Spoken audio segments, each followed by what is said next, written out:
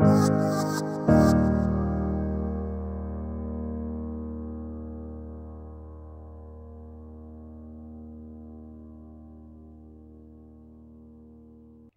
ผู้ชมครับ เราได้กล่าวถึงเรื่องการเกิดแห่งทุกข์มาแล้วนะครับ ในคลิปก่อนๆนนะครับ วันนี้เราเดินทางมาถึงเรื่องของ ทุกเนี่ยเวลาจะดับเนี่ยมันดับที่ไหน และดับแบบไหนนะครับ เป็นเรื่องที่พระพุทธเจ้าได้กล่าวเอาไว้แล้ว เพราะฉะนั้นท่านใดที่มีปัญหาเรื่องทุกเนี่ยนะครับ เมื่อฟังคลิปนี้แล้วก็ฟังให้เข้าใจนะครับ ฟังครั้งเดียวไม่เข้าใจก็ฟังสองครั้งก็แล้วกันนะครับ พระพุทธเจ้าตรัสเอาไว้เนื่องจากมีประเด็นว่า ทุกเนี่ยมันเกิดจากตาเห็นรูปเป็นต้น แล้วเกิดจากสุวิญญาณ เมื่อจากสุวิญญาณมี มันก็ตามมาด้วยผัสสะเมื่อผัสสะมามันก็ตามมาด้วยเวทนา เมื่อเกิดเวทนา ตัณหาก็ตามมาโดยลำดับนะครับ ถ้าอย่างนั้นเรารู้กระบวนการเกิดแห่งทุกข์แบบนี้แล้วเนี่ยถ้าจะดับทุกข์เนี่ยก็มีคำถามว่า ดับที่ไหน และก็ดับแบบไหน หรือดับ อย่างไรนะครับ เรื่องนี้พระพุทธเจ้าตรัสเอาไว้ในทุกขนิโรธสูตรเหมือนกัน แล้วก็อยู่ในนิทานวัคสังยุตตนิกาย พระสุตตปิฎกเล่มที่ 12 ครับ เรายังอยู่ในเล่มที่ 12 ครับอะพร้อมแล้วเราไปหาที่ดับทุกข์กันครับ เชิญครับ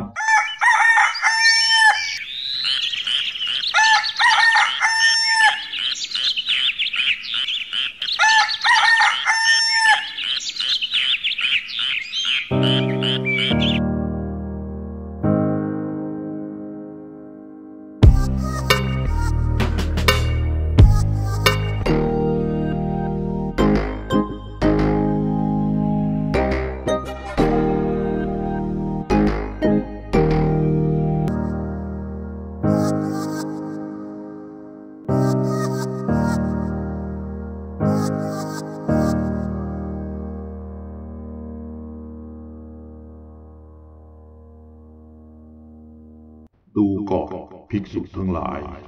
ก็ความดับแห่งทุกเนี่ยเป็นไฉนเพราะอาศัยจักสุและรูปจึงเกิดจักสุวิญญาณ เพราะอาศัยหูและเสียงจึงเกิดโสตวิญญาณ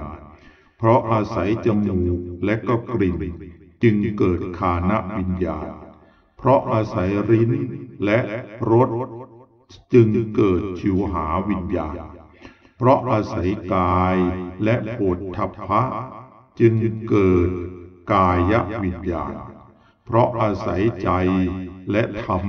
จึงเกิดมโนวิญญาณ ความถึงพร้อมแห่งธรรมสามประการนี้ เป็นผัสสะเพราะผัสสะเป็นปัจจัยจึงได้เกิดเวทนา เพราะเวทนาเป็นปัจจัยจึงเกิดตัณหา เพราะตัณหานั้นเทียวดับลง เพราะสำรอกโดยไม่เหลืออุปาทานจึงดับ เพราะอุปาทานดับภพก็ดับ เพราะภพดับชาติก็ดับ เพราะชาติดับชรา และมรณะ โสกปริเทวทุกขโทมนัสอุปายาสะ จึงดับความดับแห่งกองทุกทั้งมวลนี้ ย่อมเกิดขึ้นด้วยประการฉนี้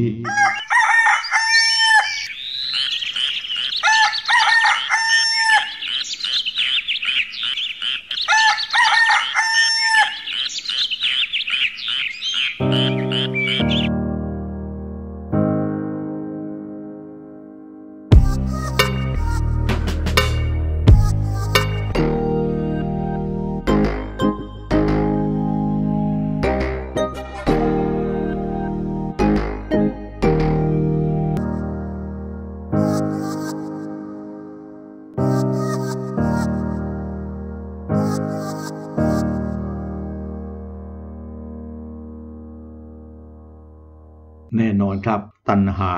คือจุดเริ่มต้นของการดับทุกข์นะครับ ถ้าเราดับตัณหาได้ ทุกอย่างดับหมดครับ จะไม่มีอะไรเกิด โดยเฉพาะในทางที่เป็นทุกข์ในฝ่ายที่เป็นทุกข์จะไม่มีอะไรเกิดอีกครับ ถ้าเราดับตัณหาตัดอุปาทานได้นะครับ นั่นก็คือพระดำรัสของพระพุทธเจ้า เกี่ยวกับการดับแห่งทุกข์นะครับ ก็หวังว่าทุกท่านจะเข้าใจ แล้วก็เกิดปัญญาในการดับทุกข์ที่เกิดขึ้นทั้งปวงนะครับ ทุกมีสาเหตุครับ ถ้าจะดับทุกข์ก็ต้องหาสาเหตุให้เจอ แล้วก็เป็นไปตามกระบวนการที่กล่าวมา เอาละครับ หวังว่าทุกท่านจะได้รับความรู้ แล้วก็จะรู้วิธีดับทุกข์เพื่อโลกนี้ถึงแม้จะเต็มไปด้วยทุกข์เราก็จะมีความสุข กับความทุกข์ที่มันมี เราไม่เข้าไปเกี่ยวข้องกับมันนะครับ เอาละครับแหมพูดไปแล้วจะเข้าใจไหมเนี่ยนะครับ ก็น่าจะต้องเข้าใจนะครับ ถ้าไม่เข้าใจฟังอีกรอบครับ สวัสดีครับ